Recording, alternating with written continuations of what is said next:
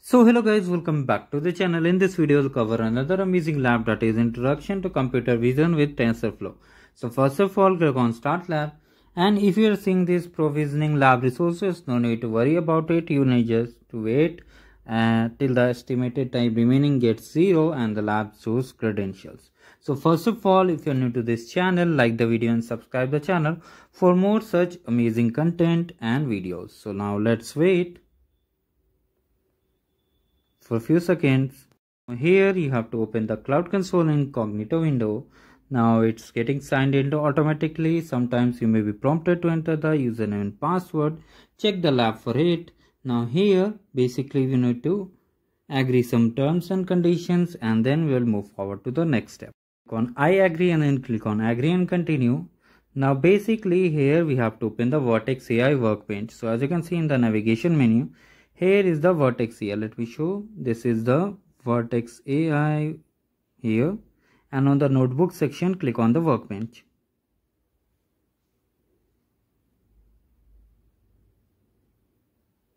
Now here we will be using Jupyter Lab and the separate workbook has been created for us for doing this lab. So let's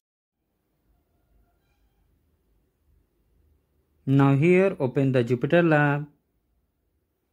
It will take some more time. Meanwhile, do comment in this video that you have participated in the Google Cloud Arcade or or not and also which tier uh, you are targeting like novice trooper or champion. So finally after waiting for two minutes sometimes even early also it loads. So now click on the terminal on the jupyter lab now in the description box of this video i've shared one github repo. We'll be using that. So just copy it from here and just paste on the terminal section. So just paste and it's executing this so first of all you need to hit enter. As you can see here now it will install all the requirement packages and after that we will move forward to the next part and let's meet again soon. Apart from these if you are new to this channel like the video and subscribe the channel for more such amazing contents. Apart from these if you haven't participated in the arcade program and want to know about arcade program you can check the description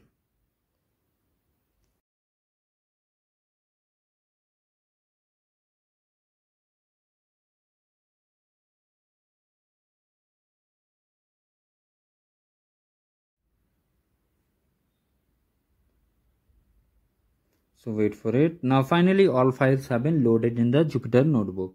So now here first of all we need to open each one. So first let's open the model file. And here wait for the kernel status to go idle.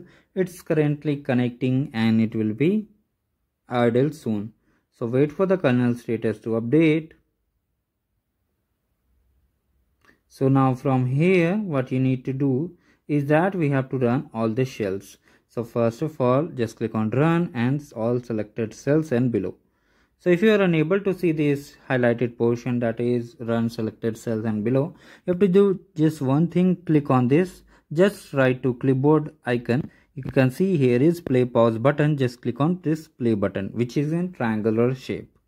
So once you are done with that, it's running the shell. Let's wait for the shell to complete and when the kernel status go idle we will move forward to the next step. Finally after waiting for 2 to 5 minutes when the kernel status is now idle now we will hit check my progress and see whether we get full score or not. Basically we will get full score on this task. And if you want you can run the other files also. So let me show you how we will execute each and every command.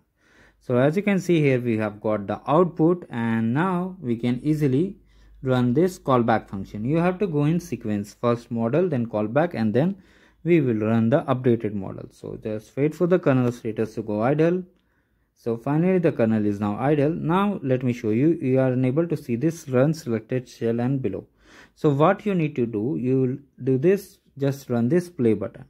Again, as you can see, it's not showing. Just select the shell and just click on this play button. Let me show you how we will do so as you can see here just click on this and it will take some time wait for the kernel status to go idle so it's currently executing all the tasks mentioned on this shell like importing TensorFlow datasets, NumPy, TensorFlow and many more things.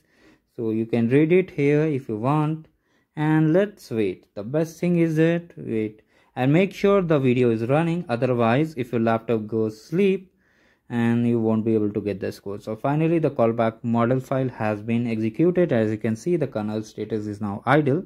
Now we will execute the updated model file. Just click on it. If you can check the score you will get the score for some tasks. Also we will hit check my progress at last also. So wait for this kernel to go idle. It's idle now now you can see here we got this. If you are unable to see the run selected cell and below i shared the way how you can do it previously so you can check it out. Now here it will take some more time so let's wait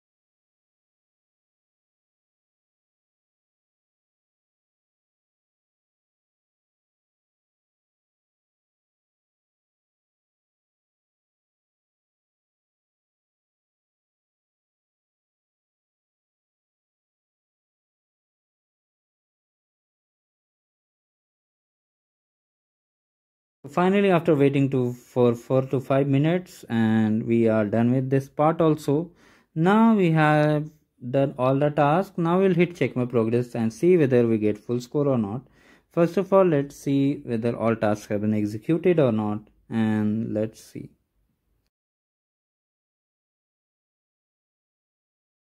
So finally let's hit check my progress and we'll definitely get full score and we are done with the lab